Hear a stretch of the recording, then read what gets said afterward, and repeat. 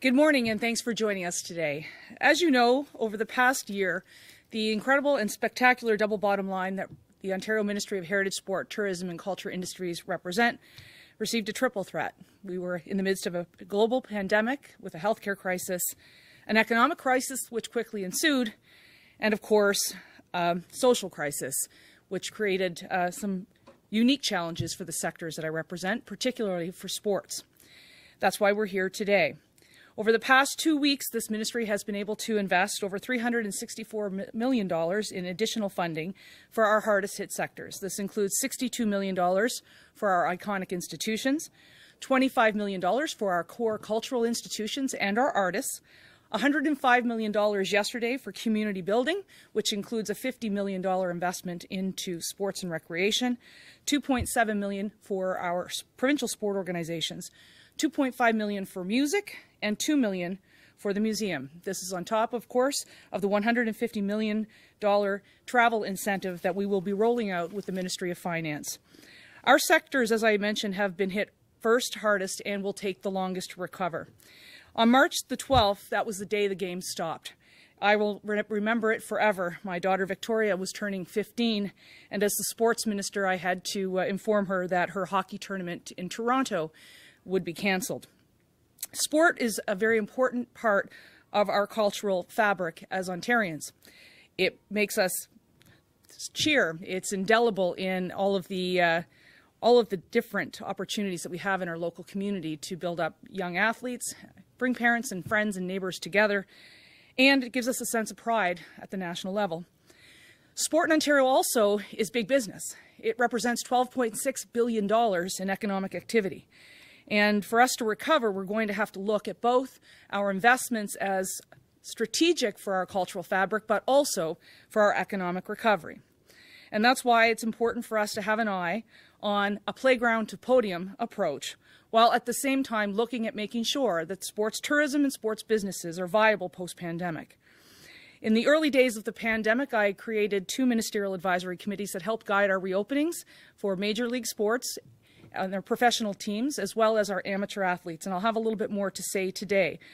But it's important for us to invest the, at this time for our provincial sport organizations at the grassroots level, while at the same time continuing to support our high performance and professional and Olympic athletes. Today's announcement is to set our athletes up for success, to ensure that they have a safe return to play with respect to COVID-19, but also in the longer frame, looking at their physical safety and their mental health uh, after COVID-19. Key to all of this will be for all of us in Ontario to restore confidence, which we know has been quite difficult during this pandemic. Today's announcement specifically is $15.3 million to support four initiatives.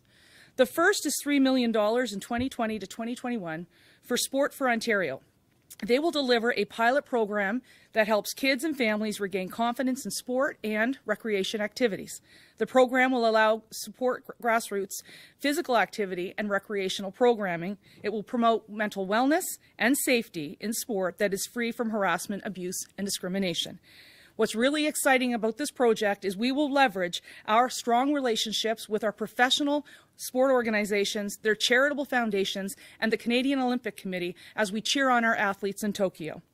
In addition, we will be providing an additional $3.6 million for 43, sorry, for 63 recognized provincial sport organizations to support their member community sport clubs who provide access to sports such as soccer, volleyball, skiing, etc. A portion of this funding will support their administrative costs, with the remainder being used to support member clubs across the province of Ontario. We are excited to continue to support our high performance athletes, and that's why we will be contributing $6.36 million for Quest for Gold Canada to support approximately 550 Ontario athletes who have reached national competition level as part of Quest for Gold's Canada Card program. This initiative provides direct financial assistance to high performance athletes, enhancing their ability to train by reducing the financial burden. This amount represents a one time increase of $8,400 for national level athletes. And let me tell you, it has had great success since this program was established in 2006, seeing our Olympic athletes uh, from Ontario has increased uh, uh, threefold um, over that period of time, and we're excited to continue to work with the Canadian Olympic Committee and the Canadian Sport Institute of Ontario to make sure our high performance athletes, like Penny Oleksiak, uh, like Andre De Grasse, and so many others, can continue to uh, top podiums around the world, particularly at the Olympics.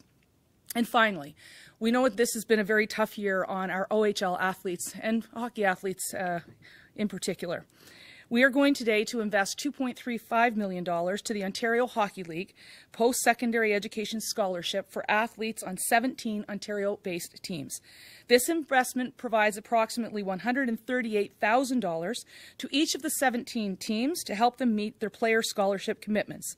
This is an initial investment as we are continuing to work with the OHL on a return to play protocol uh, and a safe return to play. Um, so those costs are still being considered, and we continue to work with the OHL. And I spoke yesterday with David Branch uh, to see how we can best achieve this. This is going to be a very important year for sport.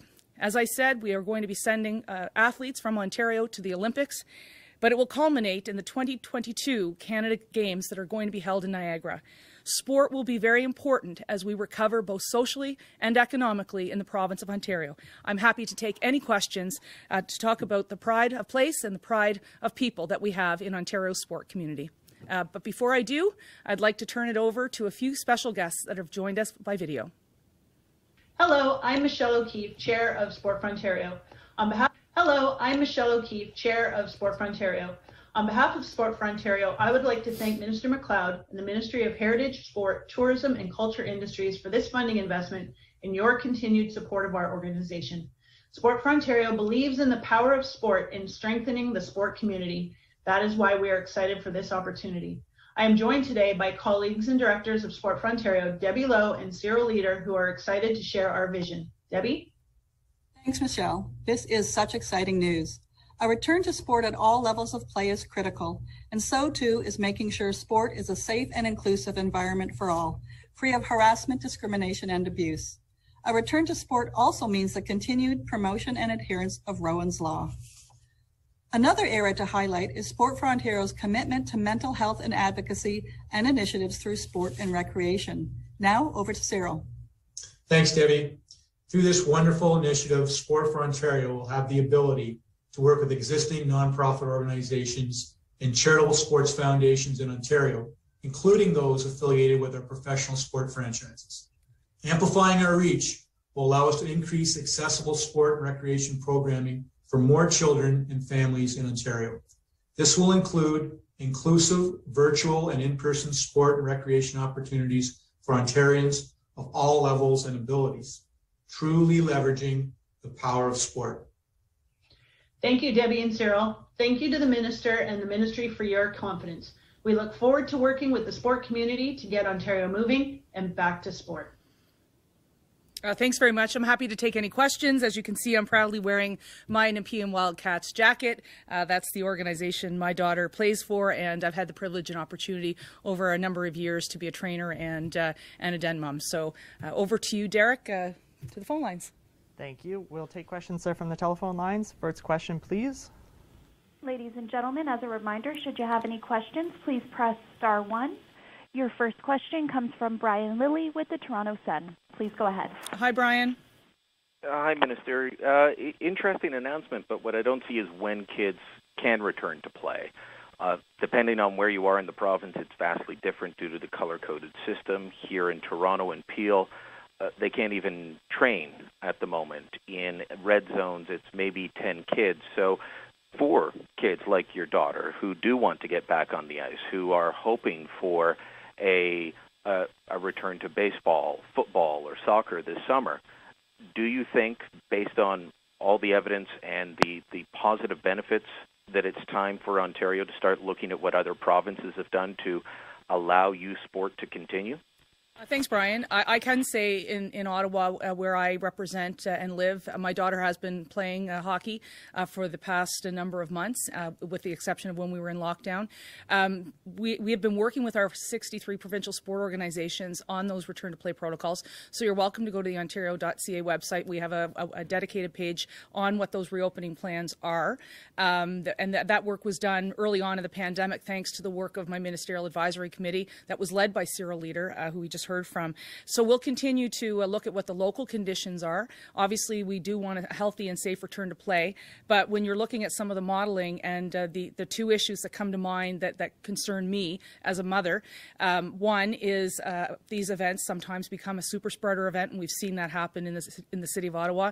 The second issue that the chief medical officer of health has raised with me repeatedly over the past year, if one of these young athletes does get COVID-19 at a super spreader event, particularly particularly if they're a high performance athlete or they have an opportunity to, to play at a professional level, the respiratory uh, challenges that the young athlete may have further on uh, could uh, prohibit their uh, professional or high performance career. So we don't take these decisions lightly. We are guided always by the Chief Medical Officer of Health and our public health units, and we continue to work directly with the sector on those, uh, those important return to play protocols. I know that's probably not the answer that you wanted, um, but it's something that we, we spend a lot lot of time on within the ministry. And I must say, um, my, my staff have worked around the clock uh, throughout this pandemic, uh, in sport in particular, uh, because of the regulations uh, that, that and, and the process that that takes. So I'm happy to take a follow up, Brian. Follow up? Yeah. Uh, on a different topic, you, you mentioned where you represent Nepean. Uh, there was a Liberal candidate set to go up against you. He has strangely resigned. I know it's a different party, uh, but these sorts of things are are odd. They're uh, they don't happen often. Someone resigning ten days after they get the nomination. Uh, do you know anything about what's going on in in your community, uh, even though it is another party? Obviously, I heard the, the, rumors and the speculation over the past number of days, and it certainly has uh, created some controversy in, in my community, uh, particularly among the South Asian community. Um, I don't normally intervene in family uh, feuds, but uh, this does have to do with my constituency of Nepean, where I've uh, represented uh, them for 15 years over five mandates. Um, so obviously, I'm disturbed that Stephen Del Duca's um, Liberal Party either didn't properly vet a candidate or, even worse, is overturning a democratically chosen uh, candidate. Um, Nepean's not a banana pu- republic. Uh, perhaps that's the way Stephen Del Duca runs the Liberal Party.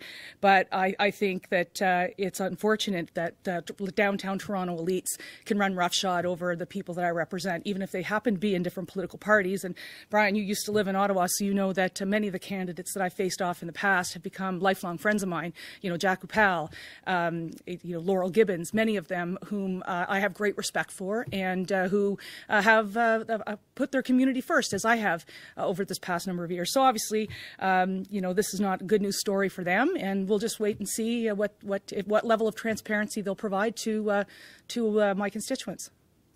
Thank you. Next question, please. Your next question comes from Chris Rushowy with the Toronto Star. Please go ahead. Hey, Chris. Hi there. Hi, Minister. Thanks for taking my questions.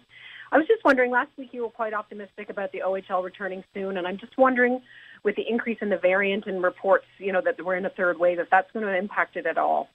Well, I, I, don't think so. I, because I think we're when you're working with a league uh, like the OHL or the AHL or the NHL, uh, and you really look at what a bubble will look like, or if there is a hub, you take every necessary precaution. And we've been quite successful at the AHL and the NHL level, um, preventing the spread of COVID-19 and even entering the bubble. So these are conversations. So we want to make sure that um, once we sign off on that return to play, that it's uh, it, the integrity of that bubble uh, will will prevent uh, the spread of COVID 19 or any of the variants of concern. And so that work, again, is ongoing. And I just want to reiterate to uh, what Brian had said earlier, you know, about the return to play. And, and my concern is, and this is something I've spoken with the Chief Medical Officer of Health eh, about, is I don't want um, a, an athlete to go into a bubble that's been infected, create a super spreader event, and then have the next Olympian or the next NHL superstar um, sidelined probably permanently because of a respiratory uh, disease that uh, has been long lasting. So uh, we do have a great deal of concern here, but I think if we get to the point where we've got the chief medical officer of uh, health signing off, then we will have an ironclad um, bubble that will pr- protect the athletes and allow them to get a season in. Follow up? Thanks. And can you talk a little bit about what went into the decision to allow contact in the OHL and what will be allowed given the ongoing threat of COVID? Okay, well, good question. So right now, contact uh, any sport outside of our professional sports organizations uh, is prohibited. Um, so we would need to get to the chief medical officer of health to sign off on contact, given the integrity of that bubble. So t- as to, to Brian's earlier point, those protocols at the amateur level and the minor sports level have been worked on by our provincial sport organizations. They're publicly made available. They have been for quite some time.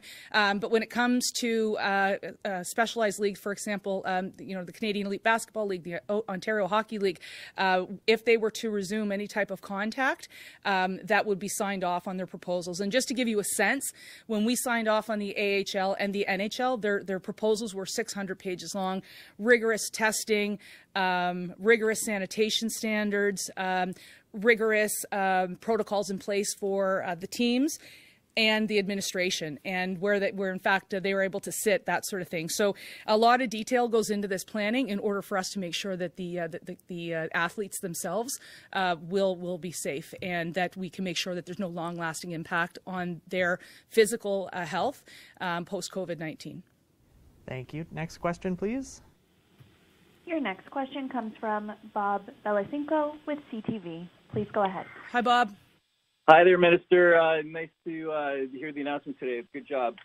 Uh, curious, uh, not to beat a dead record horse, but Derek? how close are we? how close how How close close are we to the OHL returning? Yeah, I think uh, you know if we can if we can land something, I'm optimistic by the end of the, this month that we'll be able to make an announcement and uh, that they can get to work on selecting the locations or venues in which they will play. Um, I'll leave uh, you know once we've got the sign off, I'll leave the uh, and the protocols in place. I'll leave the, the planning on when uh, the season resumes to David Branch and his team. I had a great conversation with him yesterday. Um, we're all working very hard to make this happen. We know that um, we, we know we've got some really great uh, OHL players that are going to make a real difference in the game of hockey um, in years to come. So, but we want to make sure that we do that safe so that uh, we don't have an impact on their on their physical health. Follow up? Uh, yeah, just changing topics here. Uh, talking about the high performance athletes, I know that uh, some in this area from Windsor have left the province to go train uh, just because of the restrictions. So, just curious, in terms of the money, will they be compensated? I guess for having made the move to a different province to train. Yeah, that's interesting. We were one of the first jurisdictions in North America actually to open up for high performance training with the Canadian Sport Institute of Ontario. Uh, we were the beneficiaries, obviously, of having an NBA team um, with the Toronto Raptors, and so so much of the work that we were able to accomplish was started and led by uh, the NBA, and we were able to adopt many of their practices. So that supported our uh, efforts with with that. Uh, the funding today is is for the 550 athletes who've reached the national competition level. So that uh, that compensation will be uh, dedicated toward them. Uh, many of whom will, will will go to the Olympics and support us. So we want to make sure that there is funding over and above the federal funding that they they uh, they have. I, I just want to say, looking at the stats over the years, when you're looking at this particular program, Quest for Gold, the value for money has been absolutely incredible because you're directly investing into the athletes, and those athletes, through their high performance, are able to achieve amazing things. And again, th- through the statistics that we've seen over, since this program was started in 2006, I believe the, the same year I was first elected to this chamber, uh, we have seen our, our Olympic athletes uh, just absolutely grow from this province. And there's a higher percentage of Ontario athletes on the Canadian Olympic team now uh, as a result of these investments from this government. Next question, please. Your next question comes from Crystal Ramlakhan with CBC Ottawa. Please go ahead. Hi, Chris. Hi, Minister. Thanks for uh, taking my question. I'm just wondering how this funding and these projects will impact Ottawa locally. Do you have any details on people who might be benefiting here in Ottawa? Obviously, um, some of our athletes that play for the Ottawa 67s will benefit from the scholarship program, and I'm sure Mark Goudie and uh, those at the OSEG would be able to break that down for you. I know this $3 million program, Sport for Ontario, which will be led by the former president and CEO of the Ottawa Senators, Cyril Leeder, uh, will obviously have a tremendous impact. And a couple of the areas that we're looking at, obviously, as we move into the Canada 2022 Games, uh, which will be hosted in Niagara Falls, we want to make sure our athletes um, are the safest in the country. Uh, we also want to make sure, sure, that their mental well-being will. So uh, from the very organic level, the grassroots level, uh, like at an Nepean Wildcats level, this the, the, work that they're going to be do, doing will help regain and restore trust and confidence in sport post-COVID, but also plan us out for a more successful sport year. Uh, with respect to uh, the, the, quest for gold, I know personally in my constituency, there's always about anywhere between three to ten athletes that qualify and that we celebrate. So uh, we we could get you a list on who will qualify uh, this year. And uh, with the provincial sport organizations, this is absolutely incredibly important. This allows us to retain the structure and the bones of the administration of of all of those different organizations, whether that's the Ontario Hockey Federation, um, Soccer Ontario, uh, Basketball Ontario. Ontario, uh, you name it. And so, uh, at a very uh, high level, uh, making sure that uh, the, the, policy work, the, the work for uh, return to play, the, the safety standards, um, how we register, all of that, that will impact all of our local athletes. Follow up? I'm just wondering, has all this money already been allocated for, or can people still apply for it? Uh, no, so the $3 million has obviously been allocated to sport for Ontario. Um, the 3.6 million for the provincial sport organizations, there is flexibility for them to support uh, some of their leagues. Um, so that won't has not not all of it has been spoken for. Um, the the quest for gold money, that's 6.36 million dollars, obviously is uh, allocated to those high performance athletes who qualify, and then the 2.35 million dollars uh, will be going to the OHL, and they will distribute it based on their leagues. So this is all brand new money. Um, over as I mentioned at the very beginning, at the at the beginning of uh, uh, the press conference, um, this this ministry saw an allocation increase uh, in the last year of 364 million dollars in order to uh, support our hardest hit sectors, and that's you know hardest hit in heritage when you're looking at your museum closures, um, culture when you're looking at your galleries closed and, and uh, film and television production ceasing, live music stopping, um, tourism which has grinded to a halt, and we've had a very difficult year, and then of course here in sport, making sure that we can continue to uh, not only flow the money that we already had, uh, which is about a 35 million dollar budget, but also increasing it um, um, between this announcement and one that we previously had. Um, we're at about 18 million dollar increase in sport uh, right now. Thank you. Next question, please. Your next question comes from Justin Dunk with CHCH-TV. Please go ahead. Hi, Justin. Hi, Lisa. Thanks for taking my questions. First, the OHL is largely driven in terms of its business model around fans coming to games. Has there been any talks with the OHL around that? The Edmonton Oilers have applied for fans to come out in a limited capacity in Edmonton with the Alberta Health Services. Has there been any dialogue with the OHL about that, and is that something you could see in 2021? Uh, so that will be, I think, ruled off the table uh, you know, in the immediate term. Uh, we have had conversations with the Senators and the Leafs, uh, you know, even this week about what a return would look like. I know MLSE is very excited about uh, receiving their stamp of safety, but at this point in time, uh, that's not been cleared for, by the Chief Medical Officer of Health. So when we when we talk to the OHL um, about their operations, uh, you know, what I foresee in, in, order for them to get a, a, a you know season in um, is some additional financial support from us. But, but, we're still too early in the game to assess what that actually is until we actually have the finer points um, uh, dealt with in the uh, in the uh, return to play protocols. Follow up. And is there sort of a ballpark number that you think it will take to get the OHL back on the ice in terms of the commitment that you need to make? I know you sort of alluded to it, but is there a ballpark number, and what are some of those finer points you just mentioned? Yeah, I think. Look, uh, I I think it's far too early to speculate. Um, you know, we we understand what a hub model for the NHL is, but I don't think we're looking at that type of uh, you know grouping that we had, and we know that that cost, I think, $40 million. So I don't think we're looking at something that's steady or steep. Um, but it will really, uh, it will really uh, rely on the fact of the Chief Medical Officer of Health's comfort of selecting uh, whether it's one bubble or multiple hubs, what the comfort level is of um, of the the uh, OHL going out and, and, and applying that. Uh, so and then how many, if they do have hub cities, how many will, will will there be? Would there be municipal support? Would there be other financial support for corporations in their communities? Um, so there's so many. This is very complex uh, in order for us to to make this work. And so again, far too early to speculate, but just giving you a sense of the complexity here.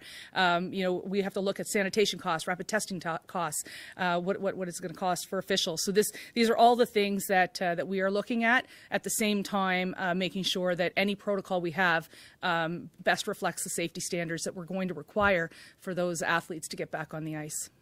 Next question, please. Your next question comes from Josh Brown with Waterloo Region Record. Please go ahead. Hi, Josh. Hi, Lisa. I, most of my questions have been answered, but I just wanted to get some clarification on the mention that uh, when it comes to the OHL with additional further funding coming. When will that come, and what will that entail? Yeah, again, we're still continuing to work on the details um, and to see what level of support they may receive from other areas, and uh, and we'll have a conversation. Um, but that is also a lengthy process uh, that that requires um, that requires going back to Treasury Board, and it requires uh, cabinet approval and all those sorts of things. So I think we're probably a couple of weeks out before we we, we get to that point. But you'll be the first to know. Follow up.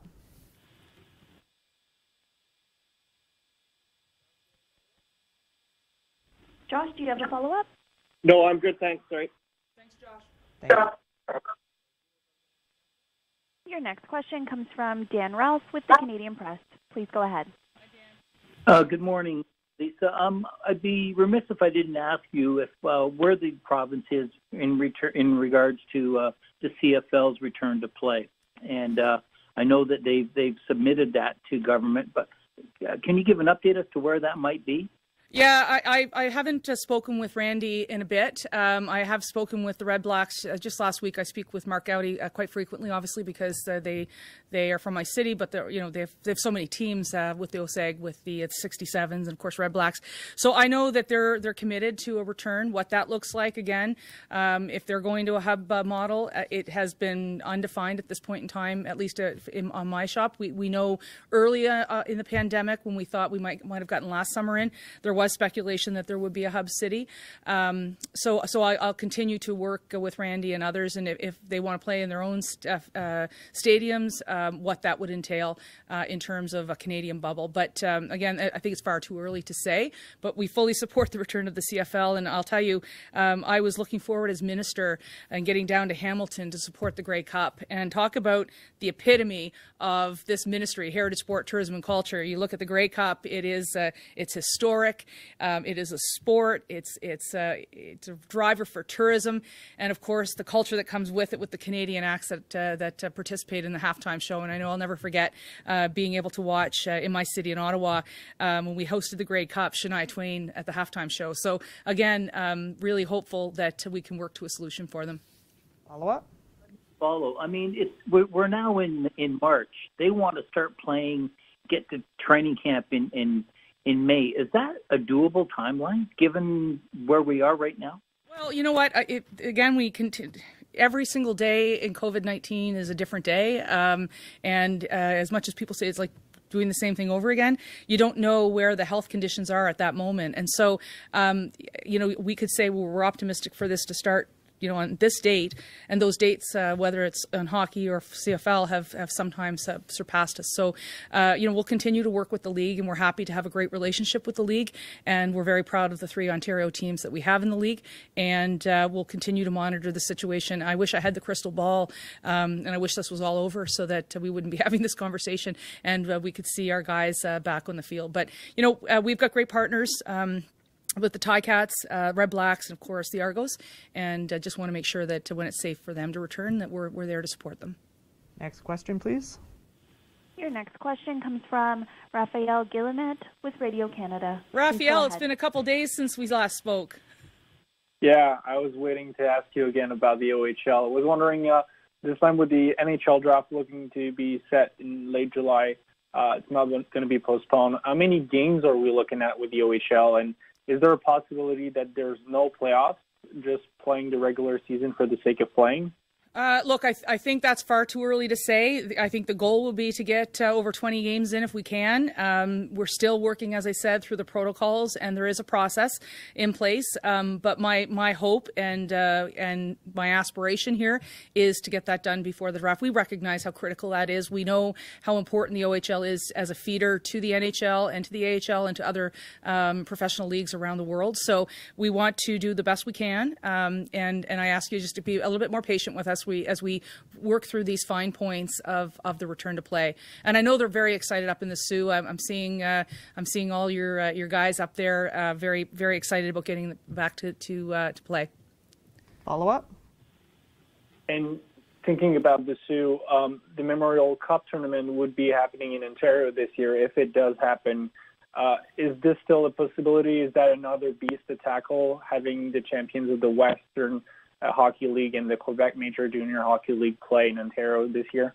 We've not been approached about that at this point in time. Uh, I do know when I was uh, up in the Soo uh, in the summer, had the great opportunity to meet with the with the um, administration of uh, the Greyhounds, and obviously, uh, there, you know, there was a competition between them and I believe the Oshawa Generals, and so uh, we would want to make sure that if if a cup does, is going to be awarded in Ontario, that this this government is there to support it, and so we were looking at different options there. but I would say it's too premature. Um, and I don't uh, I don't have a lot of confidence it would happen um, in in uh, this uh, be, be, before um, probably late 2021 or 2022, particularly as it pertains to the spread of COVID-19, the covariants that we've seen, um, and and and what what level of inoculation we're at. I think that's really what, uh, as as the the minister responsible for the hardest hit sectors, and many of whom have not yet been able to open, as you've heard here today, is really eyeing, eyeing uh, how many people are, are inoculated on a day-to-day basis, uh, and that helps uh, guide our return. And uh, the, the Premier and the Cabinet have asked me to look at those seasonal reopenings, and so it's really quite something for us um, to watch and to, to monitor. And last question. Your final question comes from Scott Radley with Hamilton Spectator. Please go ahead. Hi, Scott. Hey, Ms. Hey, Mister. Um, a couple things. I may have missed something, and, and so forgive me if I did. But um, at the beginning, we heard there was going to be the money for the youth sports, the, the, the grassroots. We heard there was going to be money for the elite Olympic athletes, and we certainly heard about the OHL. What about other leagues, other minor leagues, uh, Canadian Elite Basketball, I think you referenced, or the CPL, or any, is that still to come? Is that not something that's on the table? Where do they stand? So that's a great question and very important question. So the $3.6 million will go to the provincial sport organizations, and then that will filter down uh, to some level for the um, the uh, grassroots uh, sports leagues. The other investment I made yesterday, it was a $105 million community building fund. 50 million of that will go to sports and recreation, both for capital and, or, and operating costs. So we will be encouraging uh, those types of leagues to uh, to look at that level of funding to get uh, some support. And of, of course, we do have an upcoming budget, and we will have a fall economic economic statement. So as we continue to monitoring the safe uh, and cautious reopening of the Ontario economy, which includes sport, um, these will be things that we look at uh, in the ministry uh, with our colleagues over at Finance and Treasury. Follow up. Uh, the other thing was follow up about the OHL announcement, and uh, you mentioned, and I think Dan Ralph was asking about it with the CFL.